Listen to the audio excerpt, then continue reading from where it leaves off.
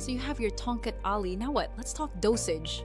Most human studies use a daily dose of 200 to 400 milligrams of a standardized extract. But what does standardized even mean? It can get confusing. You want an extract that proves its potency. On the label, look for a few key things. You might see a eurycomanone percentage, like 2% eurycomanone. This is a great sign of quality.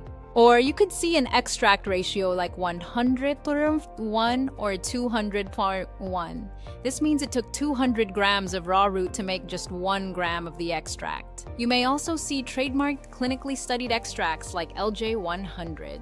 This ensures you're getting a potent, effective product, not just plain ground up root. Now, Let's talk about cycling. To maintain effectiveness, consider a cycle, like 5 days on and 2 days off. When to take it? Most prefer the morning to support energy and hormones throughout the day.